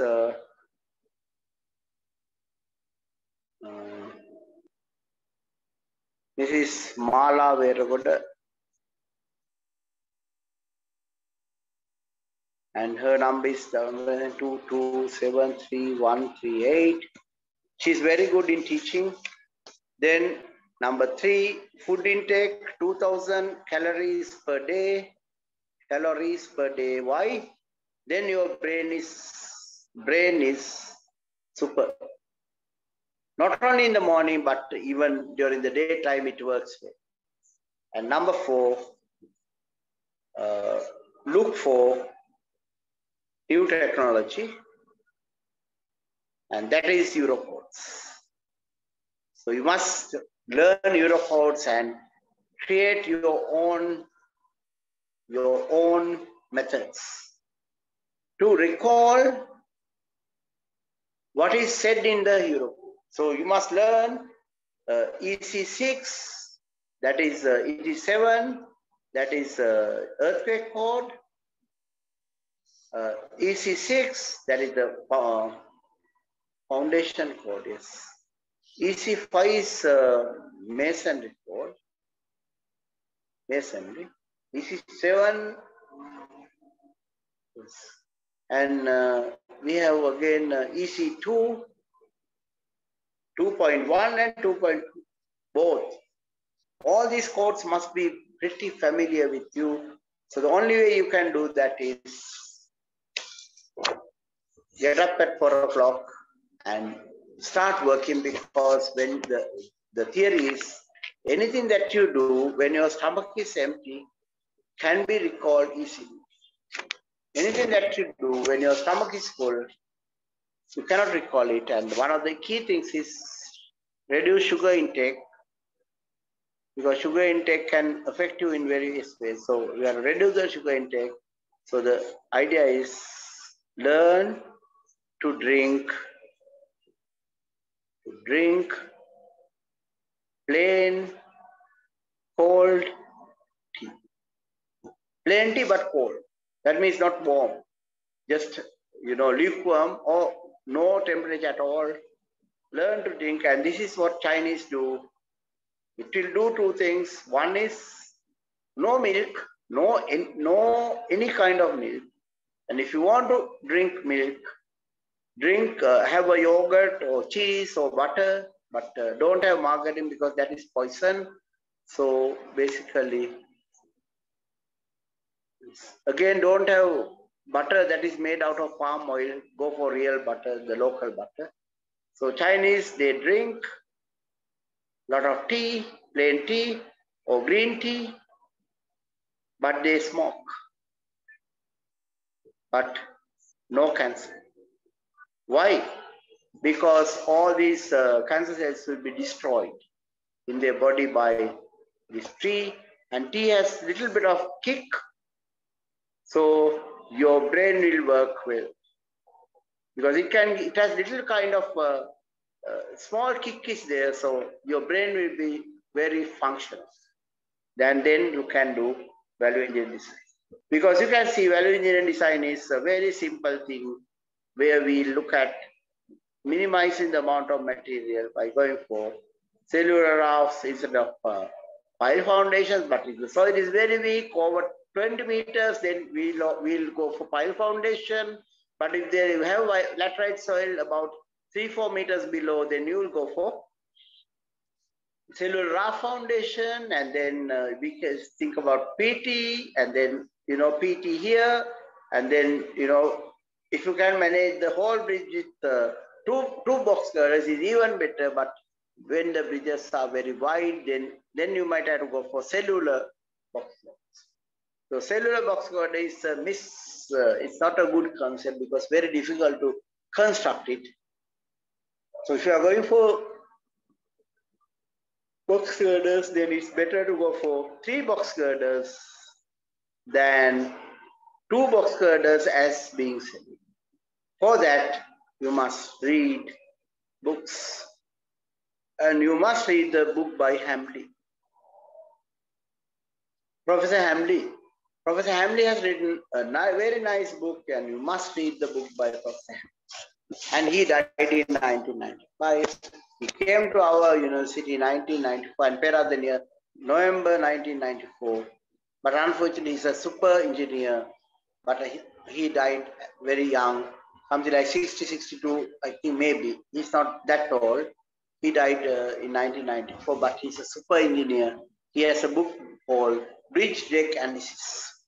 Bridge Deck Analysis. You might not understand most of the mathematics he's trying to tell you because he's a mathematics guy who developed theoretical solutions for many things today we can do with finite element. modeling.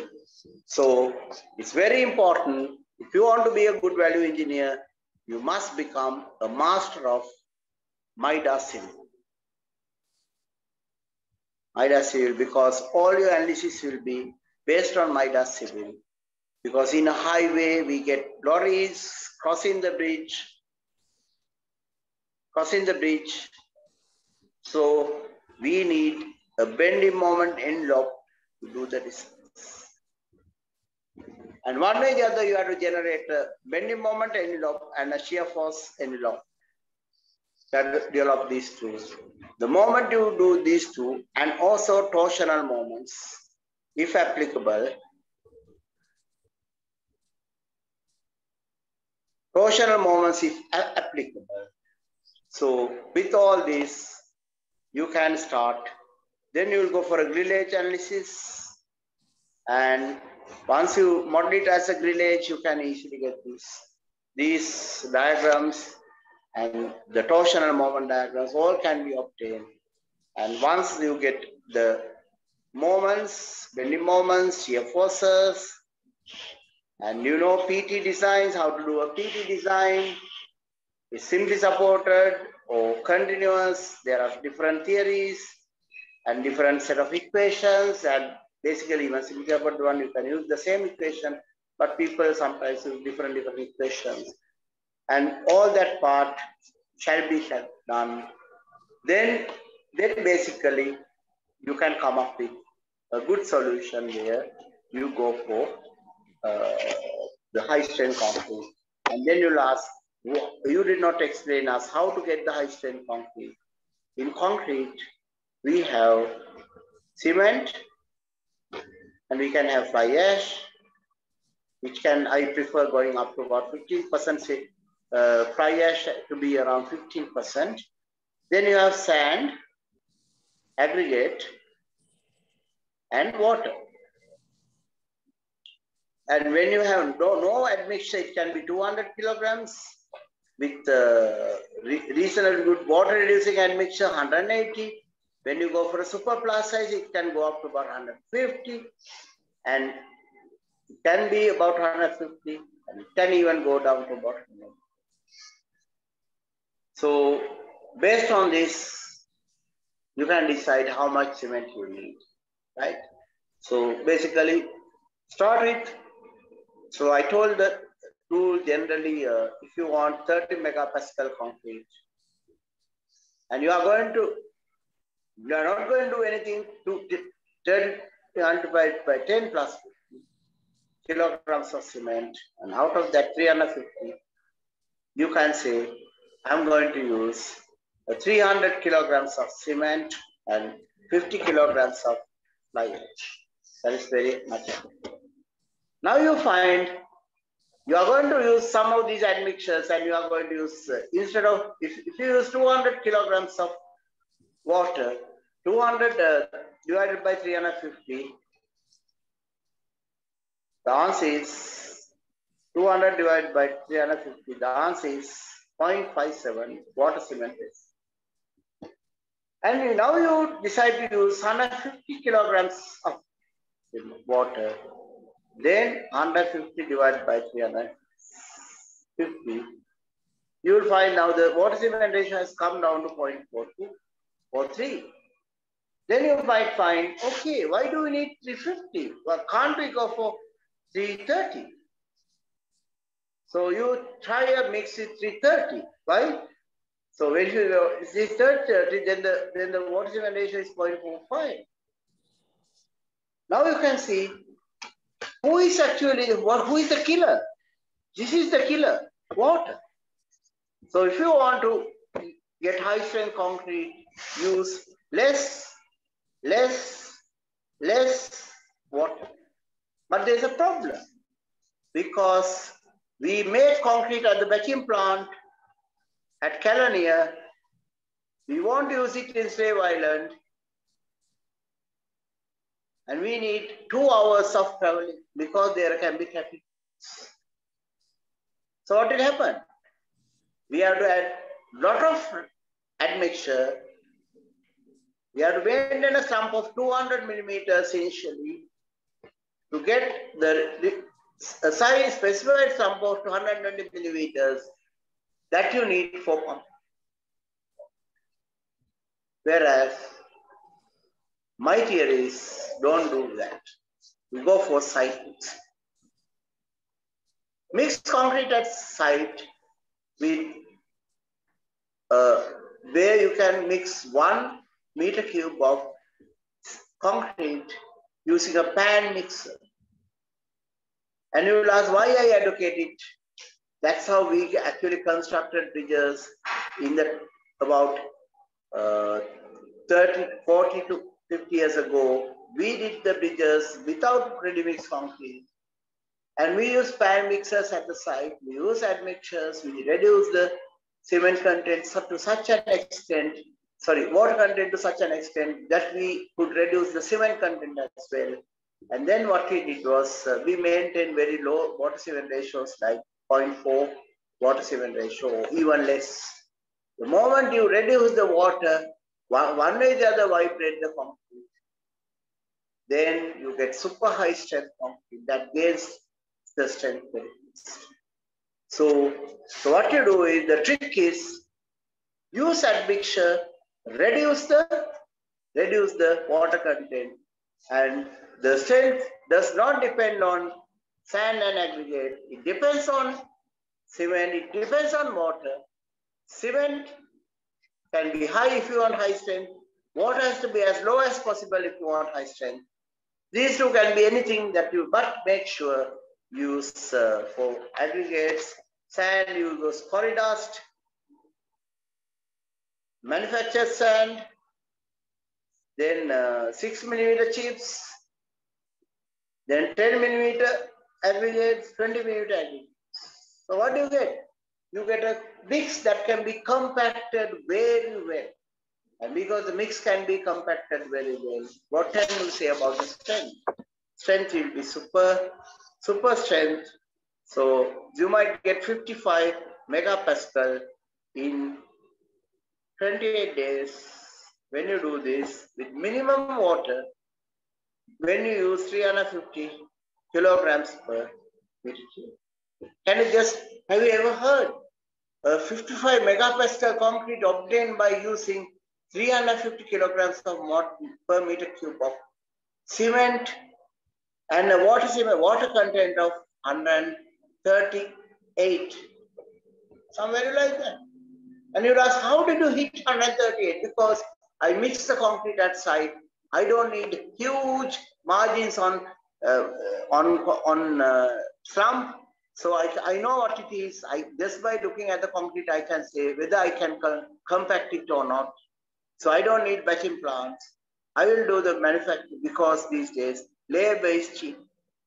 Labor rate is about 4,000 rupees per day. It's still cheaper to do it manually than uh, using vehicles because the diesel cost is 500 rupees per liter. It's about 500 rupees per liter. So there's no point in doing anything using machinery, always use labor and go for optimization. Then you can actually get many things right.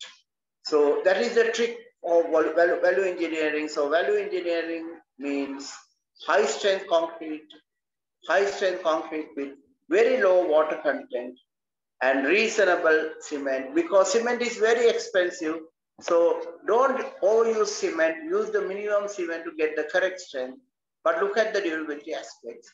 Because when the cement content is very low, what are the chances of DEF? No problem with DEF because DEF cannot can occur when only when the cement content, not the not the cementitious content. When the cement content is 275, very little DEF. When the cement content of 300 or so, very low chance of getting so the moment you know these, uh, these data and all these data, how do you find it? And you can type MTR Jayasinghe uh, DEF and you can download the paper, research paper that you have published in IESL. We could have published that paper internationally, but we published it locally because we want to help you. So basically, uh, you know, the concept is go for high strength, go for pre-stress, uh, try and you know try and avoid unnecessary foundations uh, work with a geotechnical engineer because they are very, if you get hold of a super geotechnical engineer like Dr. Nayandi Sibla, you can do wonders because he understands. He can answer every geotechnical question that comes to your mind. So you go for go with the top people because value engineering cannot be done by an average engineer. Value engineering can be done only by a top engineer who has vast knowledge. So that's why I, I spend some time, you know, you know, explaining things that may not look like relevant to this uh, lecture. But why I explain Southern Highways, it's very important for you to understand. If you are a value engineer, don't do drastic changes, change gradually so that and you change gradually and during that time you don't worry about the fee but you worry about your experience and the moment you gain more and more experience you will go for uh, super things that are very different with that are based on completely out of box so that's the way the future and make sure whether you are successful in Aragalaya or not, or ninth, one thing is the future will be very bright. Will be very bright, provided that we have honest leaders. And uh, that is the requirement. So the moment you get it sorted out, we don't have to worry about this country because we are not going to solve this country's problems once you master all these things, you can go for, you can link up with these Chinese companies because uh, they are they are very fond of our engineers. So link up with these Chinese companies doing a lot of work in Africa, Africa, and uh, you can do a lot of these kind of con design contracts because your knowledge is super and you can even uh, become project managers in Africa for Chinese projects because the Chinese don't know this kind of art of doing things. They are just doing in the traditional way. So the moment you go for this, there's a gold mine, gold mine waiting for you. And what I tell all my students is, tap this gold mine by they do MBSc, then they do MSc, and then they go for PhD. And our target is in 20 years, you are the CEO of a big company in US. That's our target. So, so we work with the vision and to work with the vision, the most important thing is don't jump into the jump because somebody has said something. Always analyze the problem, identify the problem, and once you analyze, then you identify, then then uh, have some rational thinking and out of box thinking and plan the solution very well. Once you do all these things, then you can come up with better solutions and innovative solutions and always look out for things that you can see on internet of very special solutions people have done and try to appreciate, try to understand why they have done it that way. And the moment you start doing those things, uh, you know, you can get rid of the rust in your brain because most of you have not used the brains properly since you passed out. Because most of the time you try to take the easy way out, and the easy way out means a difficult. And with that, I'll uh, end the lecture. Iniria Kamala? Yeah, thank you. Yeah, thank you very much, Fox. It's I think almost uh, two, two and Two a half. hours. Yeah. Yeah, two more than two hours. Yeah, but but but you, you should know. Yeah, thank you, thank you so much. of- Uh, yeah, for this. of, uh, uh, information. It's all Yeah. you know. I, I had everything stored in my brain. It's actually it's a great that uh, this eye-opening steps taken Yeah. So uh, to do this lecture as value engineering for highway structures. Actually, this has to be applicable for, I think, almost all the engineering aspects. As engineers and decision makers, I think we have to give the attention for this. So thank you so much for this. Uh, yeah, okay. Thank you very much.